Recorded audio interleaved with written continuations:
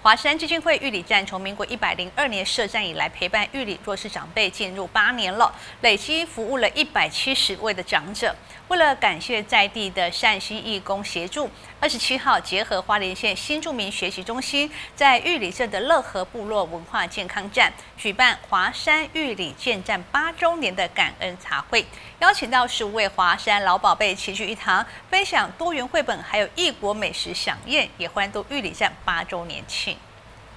넘어와 교사도 가고 안노 바빠 전도 한나.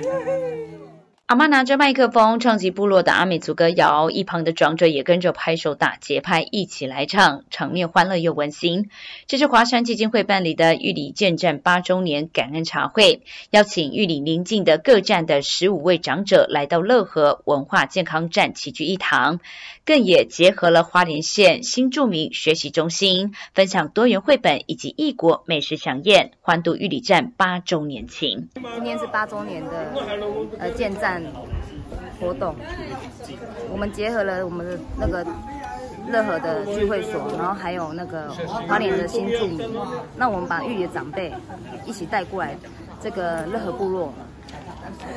一起一起同那个欢聚这样子，就庆祝我们八周年的活动这样。长辈们除了在义工带领之下一起动手动脚舒展身心，健康又乐活，更有花莲县新著名的学习中心的贴心陪伴。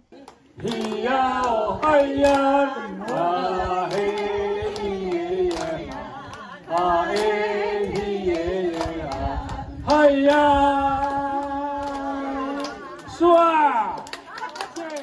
山基金会表示，期盼把更多的爱与关怀散布出去，邀请社会大众用实际行动支持华山基金会在地服务。